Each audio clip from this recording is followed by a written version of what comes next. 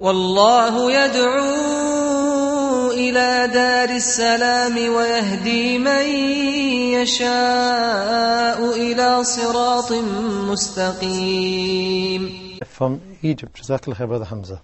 Okay, I've got a question regarding perfume here, Sheikh. Brother Khalid says, uh, is a male allowed to use a perfume, a type of perfume that has alcohol in it, Sheikh?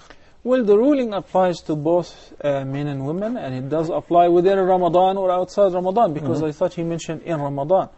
And I said there is a, a difference of opinions of the scholars with regards to the alcohol and its amount that is put in perfume.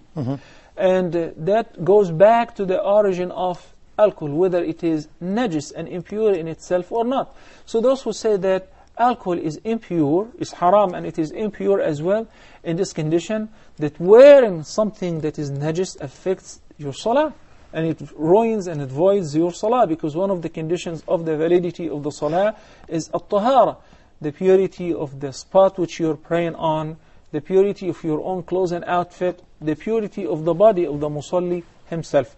So those who adopt the view that alcohol is haram, uh, is najis, definitely say it is not permissible to use perfumes which are uh, being used in alcohol as a vehicle. The other opinion which says alcohol is not impure.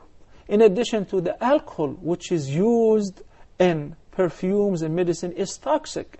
It is not uh, like uh, other alcohol which is made uh, For consumption. for consumption to get drunk. So that is different, and its amount is uh, is not the amount which would cause a person to get intoxicated.